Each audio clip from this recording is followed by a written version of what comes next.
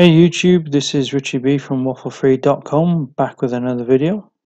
And today we're going to take a look at building a VMware ESXi 6.7 server. So before we start, there's a couple of things we're going to need. Um, one is uh, an empty server, uh, preferably a physical one if you have one. Um, the second thing we need is the VMware software itself. And lastly, um, we need a tool to make a uh, USB stick bootable. So I guess you're going to need a USB stick as well. Um, so we're going to quickly just go through those three items and get you ready for the ESX install. So firstly, if we go to vmware.com up here, and then go over to login, and then select my VMware. It should take you to another screen like this. So if you haven't got a VMware account already, just click here to sign up for a new account and then sign in. Once you've signed into vmware.com, um, you're going to be looking for ESXi 6.7. I think the current version uh, is U2. Um, so if you download that in the ISO file format, um, the other piece of software that you're going to need, uh, or at least I recommend using, is if you go to Google and search for something called Rufus, R-U-F-U-S, and that you'll see uh, rufus.ie is the main website. So again, uh, this tool is essentially to make a a VMware bootable USB stick using the ISO file that you would have downloaded from VMware. Uh, and then obviously this is an easy way to create that. So what I'm going to do is I'm going to pause the video here. Um, if you want to go away, download the Rufus software and the VMware ISO file, and then we'll pick up in a little while uh, and we'll start installing VMware. So hopefully uh, by now you should have an ISO file. Um, it may be renamed differently to mine because obviously I've just renamed that to a sensible name that I understand. But you should have a similar sort of ISO file. And you should also have the Rufus uh, application, which should look fairly similar to this. Okay, if you haven't opened Rufus already, just go ahead and uh, run it. Now you'll notice on my system the uh, F drive is my USB stick. So all we want to do first is just ensure that in the device that the uh, USB stick is selected.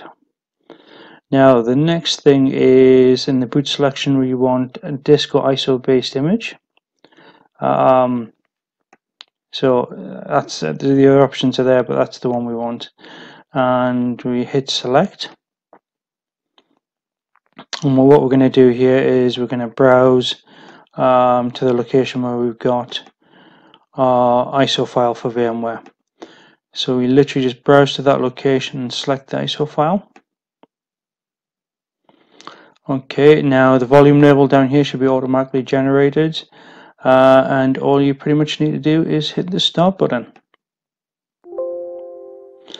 it'll give you the usual warning about yeah it's going to destroy everything on the memory stick yeah we expect that so we'll just click OK and you can see down here it's preparing the memory stick so what I'm going to do is uh, this should only take about 30 or 40 seconds so I'm just going to pause the uh, video until that's finished okay as you can see here the USB memory stick has uh, finished creating and the status is ready. Uh, that means the, uh, the USB stick's ready to be booted from. So the next thing we need to do is go to your server, plug the USB stick in. Um, just double check your BIOS settings on your server to ensure you can boot from the USB stick. Um, sometimes that needs a change in the BIOS. Um, but most of the time you can normally uh, spam one of the keys like escape or F9 or F2 which allow you to uh, select the boot menu. So uh, we're going to go ahead and take the take a look at the boot process. Okay, right, we're uh, ready to install. Um, I've kind of skipped ahead a little bit and just booted um, to the first screen. So obviously there's no point you seeing my BIOS of boot up screens, waste time. So uh, hopefully uh, if you've booted up, you should now be at the same screen. Um, first thing to note is that when you're booting up, if you don't move the uh, the arrow keys or the cursor using the arrow keys, you'll only have six seconds to make a selection. So first thing you want to do is just move the up down arrow keys, which cancels that automatic six second boot. Um, so as you can see here, you've got two options here, boot from the local disk, which will just then continue to boot the hard disk, um, which we don't want, or we've got the ESX 6.7 standard installer. So we're going to go ahead and select that. As you can see here, it's going to start the ESXi installer process. Okay.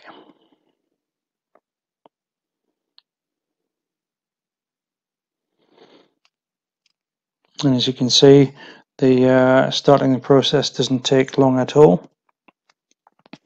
And for this demo, uh, my machine literally has just got um, two two core CPUs, so I'm using four cores and 16 gig of RAM. Um, not the most powerful machine, but it'll do perfectly for the demonstration.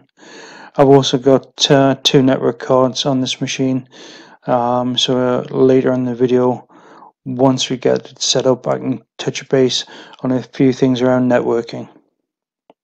So we're just going to let that finish up. Uh, shouldn't take too much longer. Uh, when you get to the screen saying welcome to installation, if you just hit enter. And F11 here just to say, okay, yeah, you acknowledge the terms and conditions. Uh, feel free to read them, but I think, to be honest, most people don't.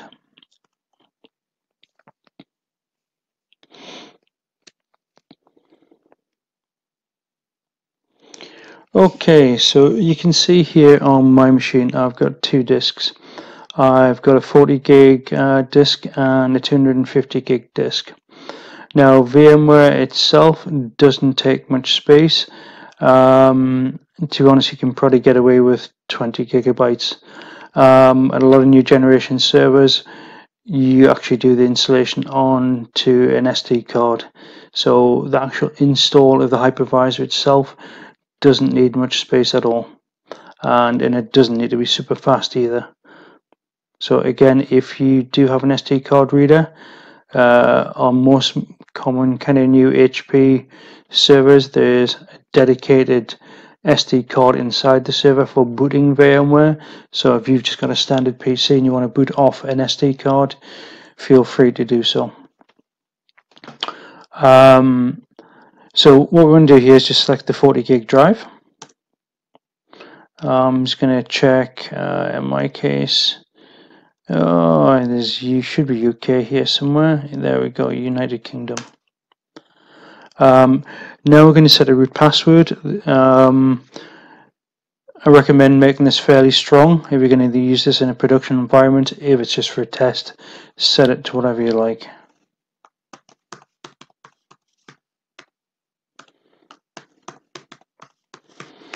Okay, uh, and if obviously you type the password in twice uh, correctly, it'll tell you it matches, then just press enter to continue. And as you can see, I don't have enough characters.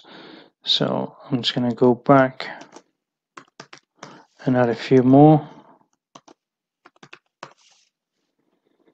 Um, I think it has to be a minimum of eight or nine with at least one uppercase um, and one special character.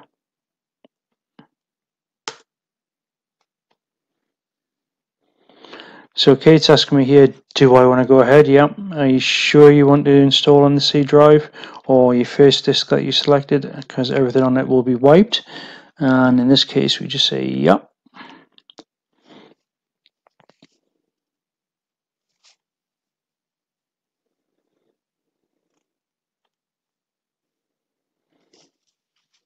And as you can see, it's uh, even on my fairly slow machine it's rattling through uh, pretty darn quick. I mean, the whole process from start to finish shouldn't really take more than about 20 minutes.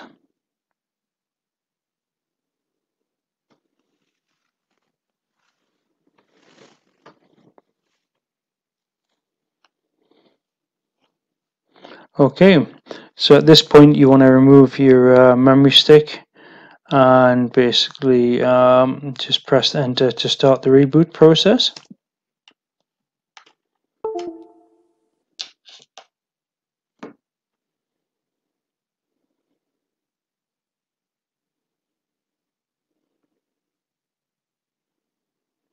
Okay, as you can see, she's uh, rebooted and uh, now is now restarting.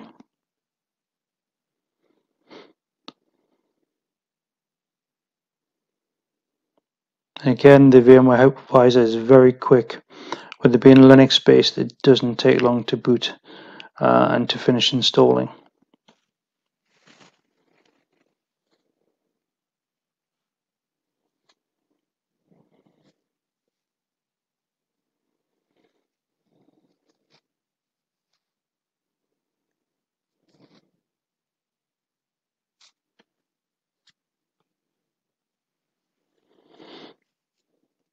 Okay, we're nearly at the end of the process.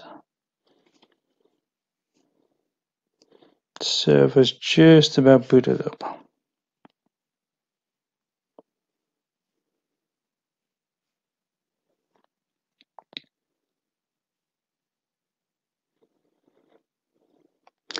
Okay, so this screen here, uh, this is pretty much you'll finished the, the base initial install. Um, and the first thing to note over here is the web address. Okay, so what you need to do in this case usually is to go into that and change that. Um, so what I normally recommend doing is that you uh, press F2 to customize.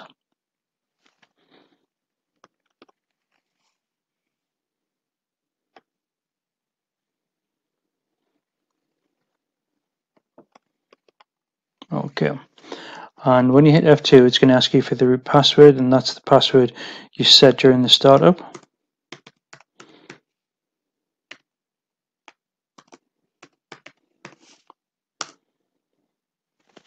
And once we type that in, that'll then take us into the Mandarin screen. Okay, there's a lot of different options in here where you can change the password, uh, restart management services, test networks, and lots of other bits and pieces. Uh, the main one we're interested here is the option here to configure the management network. So obviously what we need to do here is obviously we've got a number of different network adapters you can look at.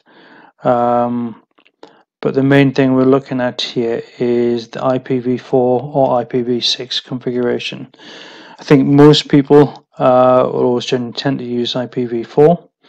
Uh, so if you select that and press enter, obviously if you want to select optional VLANs you can. Uh, so you select enter on IPv4 and then select this option here um, to do a static IP address and then you can pretty much set that to whatever you want. So let's say, for example, I'll just change that to uh, dot 50 uh, or dot 150. Um, one in, so I'm going to change that to 150 and give it a static address. Press enter to OK that. Um, at this point, I would recommend you press escape to come out of the menu. Apply changes, hit wide for yes. Then you're back to the uh, to the main system.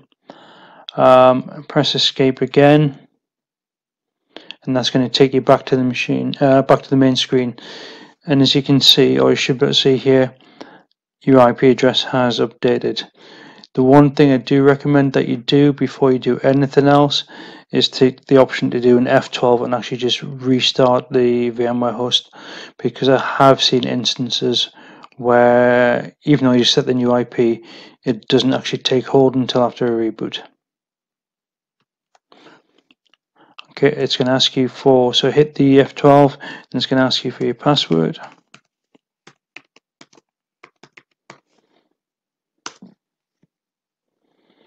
Uh, if you had any VMwares, it's just saying it's going to forcibly shut them down. So you can just ignore that and hit uh, F2 to do the shutdown. So okay, we're going to pause the video at this point. Um, we're going to come back in just a moment. Um, we'll look at how we actually connect to this uh, machine, the new VMware box.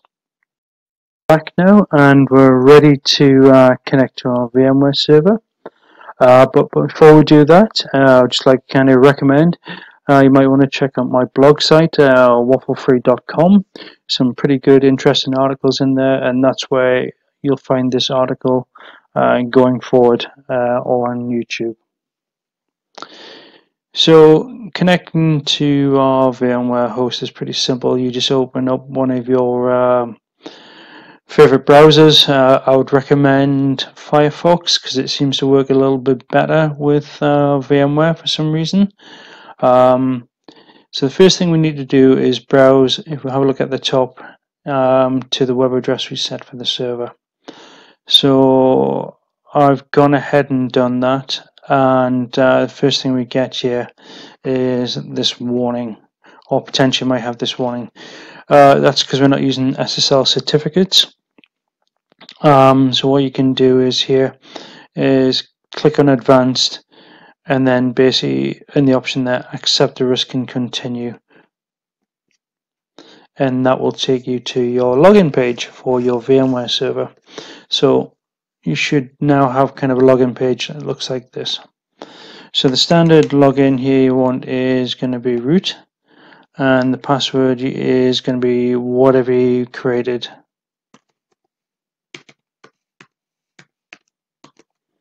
So I'll just type that in. You can choose to save or not. Uh, I'll just save it, see me retyping in. Um, you then get this little thing saying join the VMware customer experience program. Um, to honest, I never trust these things. So I'm just going to untick that and click OK. So here we have it. You're actually connected to your VMware hypervisor host. Um, and as you can see at the top okay we're using very little CPU um, we're using 8% of our uh, 16 gig so we're using less than 2 gig for the hypervisor so that's good. And the um, the storage here you can see that it's showing the capacity of 31 gigabytes. Um, the reason for that is because obviously that's looking at the original boot drive and we haven't got around to actually adding in the extra storage yet. So the first thing you're going to want to do is, uh, depending on if you're using local disk or if you're using network disk, um, you can see that we've got only one data store at the moment and this is the original 40 gig disk that we installed the uh, VMware hypervisor on. Now, obviously, we don't want to use that um, to install VMwares. One, because it's not very much space, and two, it's never ever recommended to in install any VM on the hypervisor boot drive. So to add in any additional data stores or disks, um, you literally select this option called New Data Store. And then what you want to do here is you want to add a new VMFS data store. Okay, so let's click next. And if we can see here, it's found the 250 gig disk that you had. Um, and we'll just call this uh, data data store 2. Very original. Click next. And then it's just telling us how much we're going to have free. Uh, and what we're doing here is then just use the full disk you can select to use different custom amount of the disk, but we're going to just use it all. Okay, and finish. Just hit yes to that. That's just warning us that anything on that disk is going to be wiped. We're, we're quite happy with that. And as you can see in the bottom, the, the progress is shown here, and it's near instantaneous. So our data store 2, where we want to store the VMwares, has been created. Okay. Um, so what next? Well, I think now we'll take a look at um, creating your first VMware. Just to point out at the top here, um, any particular adapters that you've got in your card, like um, host bus adapters for uh, SAS storage, or if you're using iSCSI storage and you're using a particular network card, um, what you can do here is if your adapter isn't being shown up here you can basically hit the option to rescan and that'll find any uh, storage adapters for you. The other good thing about that is that's how you kind of scan um, for your storage if it doesn't show up. Uh, the other thing in here just tells you a little bit more about other devices in your machine um, and anything where you've got persistent memory. But we're not interested in any of that at the moment. Um, here you can see obviously the, uh, an overview. Click on host. Um, this tells you a little bit more about your machine. If you scroll down you can see obviously performance metrics uh, what you've got set up here So as you can see, we've got no virtual machines. Um, so the first thing we want to do is let's right click on the host and then select this option to create or register a new VM.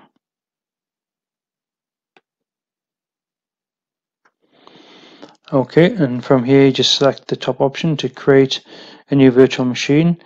Um, if you have a pre-built um, virtual machine from a third party for a specific tool or purpose, you can import the OVF or OVA file. Or if you have an existing machine, you can also register that and just point at it. But in this case, we want to take a look at creating a whole new machine. So it's very simply click next. Uh, what do to call this? Um, let's call this PC1 for example. Um, it's gonna down here it's gonna ask us okay what operating system we're to do. So we'll just say okay we're going to go with Windows and we're going to go with Windows 10 uh, should be a Windows 10 there somewhere. Yep Windows 10 64-bit okay uh, click next so this bit here, which data store do you want to stick it on? And it's automatically defaulted to the second data store. So we just want to leave it on that. And this is where we decide, okay, how much space do we want to give it? How much RAM? How many CPUs?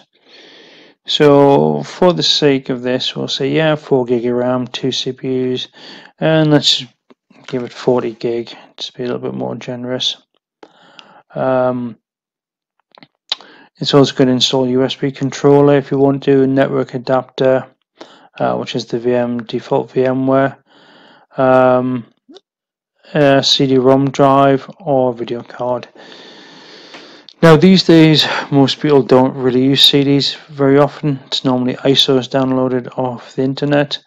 Uh, so if we expand the CD drive, what we can actually do is change this so instead of being the local CD drive, um, you can actually change that to boot off an ISO disk. Um, but we'll leave that like that for now.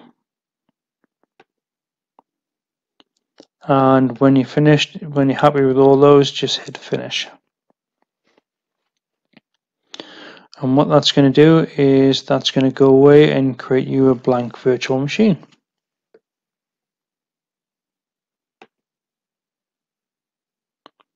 and as you can see here we have uh, one virtual machine. If we if we click on it uh, it is PC1 um, so that's that's essentially the blank shell that you need to create a virtual machine oh, obviously we're not going to do that in this session because this session is just about getting your hypervisor up and running and how to create your first virtual machine um, obviously, if we were to power that up, this would start the uh, the Windows 10 setup process, assuming that we had a CD in the drive, and away you would go, and you just set your Windows 10 machine up as normal. About wraps it up for this video. Um, check the links in the comments below. Uh, we'll be posting uh, a link to another YouTube video where I'll actually be building the uh, virtual machine from scratch. So we'll start this kind of PC1 um, build from the beginning again, and we'll actually go through the whole process of actually installing Windows 10 uh, and experimenting with that uh, virtual machine. Um, I'll also touch base on the next episode uh, about playing around with the networking settings or maybe do a separate video. So keep an eye out for that. Um, so please subscribe, um, like the channel, and uh, thanks for watching. Hopefully it's been useful.